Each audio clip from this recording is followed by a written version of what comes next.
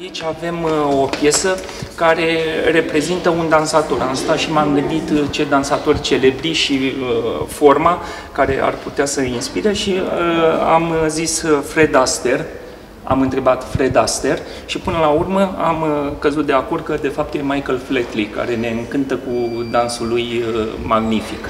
Artistul este foarte modest și spune că nu a făcut altceva decât să finiseze unele rădăcini de copaci sau crengi regăsite în pădure, însă rezultatul muncii sale este unul absolut spectaculos.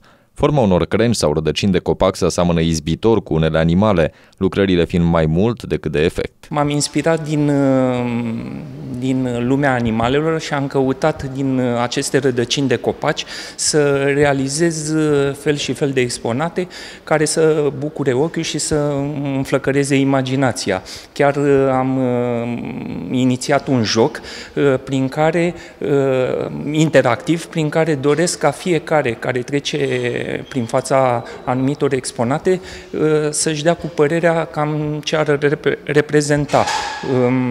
Fiecare privește și înțelege arta în felul lui. Așa că ce spun eu, o denumire a unui exponat, altul poate să aducă, altcineva poate să aducă, să vină cu altă idee.